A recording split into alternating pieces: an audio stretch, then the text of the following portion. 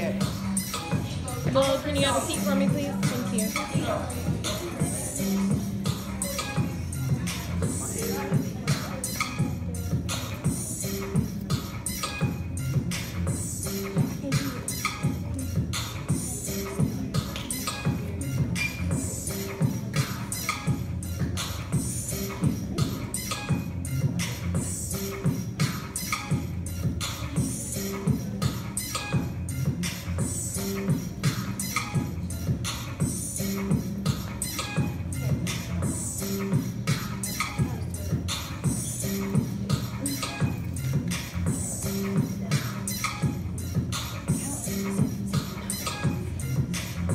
Jesus.